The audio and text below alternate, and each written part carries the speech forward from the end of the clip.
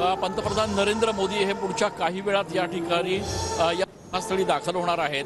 आणि आजचा हा दौरा जसं मी सांगतोय की अत्यंत महत्त्वाचा मानला जातो आहे. आपण बघतोय की या ठिकाणी सभास्थळी लोकांची गर्दी जमायला सुरुवात झालेली आहे. काही सांस्कृतिक कार्यक्रम या ठिकाणी पार पडलेले आहेत. मनोरंजनात्मक कार्यक्रम या ठिकाणी सुरू आहेत. सुदेश भोसले आणि साधना सरगम यांच्या गाण्यांचा कार्यक्रम सध्या लोकांसाठी आयोजित करण्यात आलेला आहे. पुढच्या काही वेळात या ठिकाणी पंतप्रधान नरेंद्र मोदी दाखल होतील. एका ओपन जीपच्या माध्यमातून पंतप्रधानांचं स्वागत जे आहे ते या ठिकाणी केलं जाणार आहे.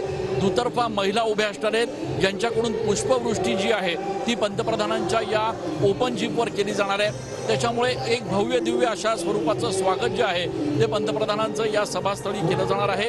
राज्यामध्ये एकूणच जे काही मराठा आंदोलनांचं सत्र सुरू आहे त्या पार्श्वभूमीवर पंतप्रधानांच्या आजच्या या शिर्डीच्या दौऱ्याच्या पार्श्वभूमीवर प्रचंड मोठा पोलीस बंदोबस्त जो आहे तो या ठिकाणी तैनात ठेवण्यात आलेला आहे.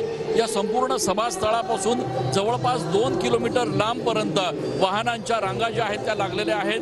पार्किंगची वेगळी व्यवस्था करण्यात आलेली आहे.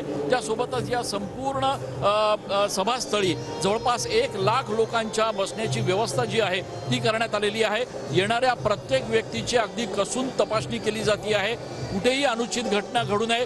कुठेही पंतप्रधान नरेंद्र मोदी यांच्या या सभेला गालबोट लागू नये. याची पूर्व तयारी जी आहे ती पोलिसांच्या वतीनं या ठिकाणी करण्यात आलेली आहे.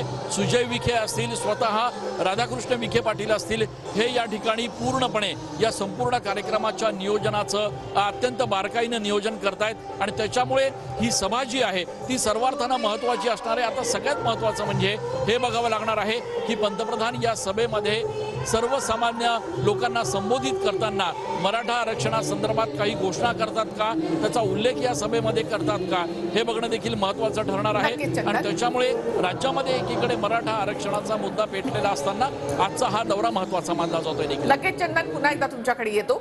तर